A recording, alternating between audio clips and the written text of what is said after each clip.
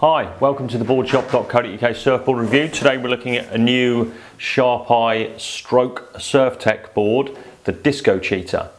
So the Disco Cheater is the latest in the collab between Surftech and their amazing Fusion E2 epoxy construction and Sharp Eye surfboards. The Disco Cheater is based on an older model called the Disco, which was a performancey type shortboard.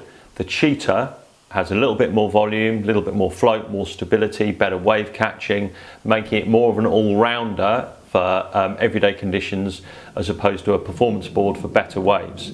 So let's have a little spin round.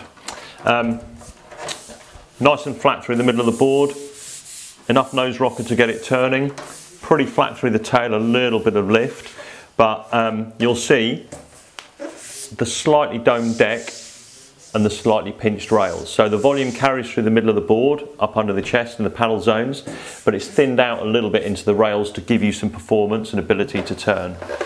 Set up as a five fin, uh, this one's FCS 2, which is how they come as standard, and you've got a nice single concave running into the fins and V out through the tail. into a very nicely put together board, good in proportion layout and it's going to be a board that will go in anything from thigh to probably a little bit overhead. Perfect for sloppier weaker conditions as well. As I said it paddles well with that volume under the chest gets you in relatively early. Um, not the most high performance board in the world but for the average surfer when you want a board that gets you in keeps you a high wave count and that you can get it turning and also progress your turning and make the most of average and then the odd better condition, it's a really good option. Um, Sharp Eye's boards, as you know, are served by Toledo and a host of other top end surfers. This is a board that filters down from their feedback for a more average Joe surfer, people like me, in fact. Um, the construction, the Fusion E2 epoxy construction is frankly about as good as it gets epoxy wise. It's a stringerless epoxy blank um, and it uses the carbon strips top and bottom as the um, in effect the stringer to give you the um, the flex and the even flex and the performance that you'd expect from an epoxy board. The great thing about epoxy of course is that the memory stays the same forever. It doesn't wear out like PU does. And back in the day when epoxy boards were chattery and you couldn't bury a rail, those days are gone. This, this kind of epoxy is far closer to PU and much, much nicer to surf with the added benefit, of course, that it's way more durable and nice and light as well.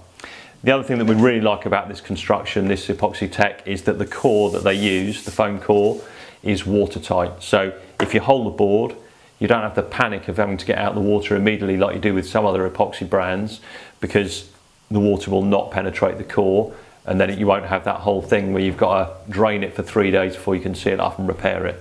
You can use a standard epoxy repair kit get it sealed up and get back in the wave straight away.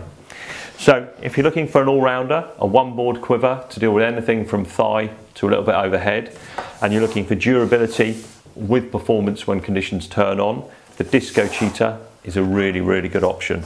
Um, Sharp Eyes going from strength to strength. Surftech are once again at the forefront of epoxy technology, so it's a marriage made in heaven. Maybe Devon, if that's where you're headed. Um, there it is, available online right now. Uh, as always, you can trade in old boards against it, use our 0% finance. Any questions, any more information, you know where we are. Thanks for watching.